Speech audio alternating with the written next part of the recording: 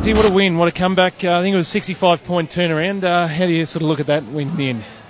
Uh, yeah, it was an interesting game, you know. I think um, you know, we were doing a lot right in the first half, but it probably wasn't, well, definitely wasn't reflecting on the scoreboard, and it probably created a little bit of, you know, anxiousness amongst the group. But, you know, I think at half time we, um, you know, addressed a couple of things, mainly around our ball use and just a little bit more composure going forward.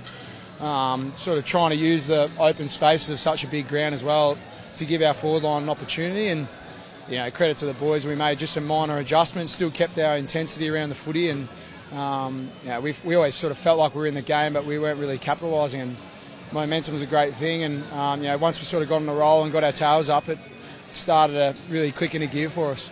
The first quarter looked pretty tough, though. The wind out there seemed to be really favouring Gold Coast. What was it like? I mean, certainly watching from the stands, it did. What was it like as a player? Yeah, no, there's definitely an advantage going that way. We were speaking about it prior to the bounce. I mean, prior to the uh, toss of the coin to try and get it if we could. But, um, know, that was, you know, we, we probably didn't change too much of our tactics, but um, there was definitely an advantage there, particularly you know, for us, when we're not using the ball well and we're turning it over in dangerous areas, and Gold Coast are able to sort of slingshot off the back of that, and we can't get in a great defensive position.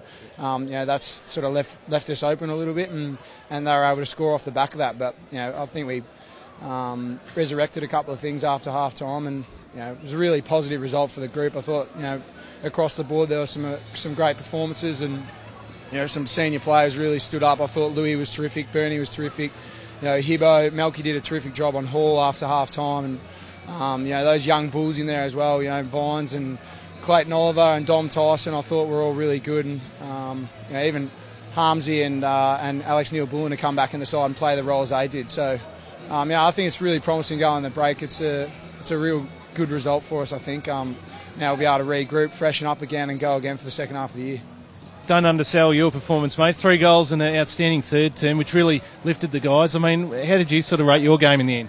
Uh, yeah, I got lucky, I think, um, off the back of some terrific team play, you know. Um, I sort of kept my game pretty basic, pretty simple, and, um, you know, opportunities come up, and, um, you know, a couple of my goals were lucky. Um, but, you know, yeah, you sort of reflect on, you know, the role you play within the team, and we sort of say, you know, if we can just share it around, everyone will get their turn or lick of the ice cream or however you want to put it. And um, yeah, lucky enough for me, I was able to do that tonight. But um, know, I wouldn't have been able to perform like that unless you know the the boys played the way they did, particularly in the second half. You know, opening up the ground, the ball use, and those kind of things, and keeping our intensity around the contest was the main reason why we won the game.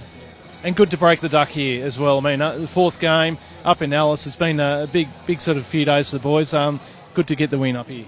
Oh, there's no doubt about that. I think um, we haven't had much success here, but we did obviously know the ground pretty well, and um, you know it's in terrific nick, and we do enjoy playing here. We just haven't been able to get a result, and um, you know, we really set ourselves. Goody challenges during the week, and um, yeah, we are able to do it, which is which is really good for the for the group. And um, as I said, you know, hopefully that gives us a bit of momentum going into a period where we can you know freshen up a little bit and you know really attack the second half of the year. It's it's a group, it's a position we're not too fond of over the last sort of few years, and I think it's um, it's a great sign that you know the, the group's still really developing well, and um, we're on a, on the right path. There's no doubt about that.